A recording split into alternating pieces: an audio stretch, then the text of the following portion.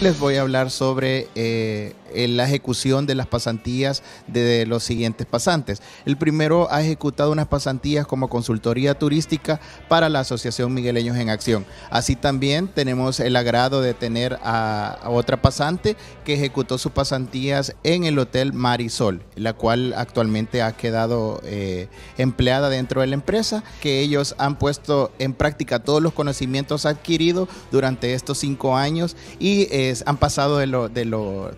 a lo práctico. Estudio y trabajo, entonces decidí realizar una consultoría en modalidad de pasantía, en donde me involucré en área administrativa, presentando un plan de trabajo a migueleños en acción y luego en área de campo con la realización de un inventario turístico sobre patrimonios culturales en el centro histórico de San Miguel y además presenté una propuesta de una ruta turística para el centro histórico. Hola, les saluda Alice Ulloa, eh, estudiante egresada de la Facultad de Ciencias Empresariales en Administración de Empresas Turísticas. Mi proceso de pasantías lo pude realizar en el Hotel y Restaurante Marisol, ubicado en Playa Las Tunas, Conchagua, La Unión. Eh, ¿Cómo fue mi proceso? La verdad fue un proceso bastante amplio ya que pude aprender e interactuar con diferentes turistas nacionales e internacionales, donde pude aplicar todos mis conocimientos obtenidos durante toda mi carrera universitaria y poderlos aplicar a la vida real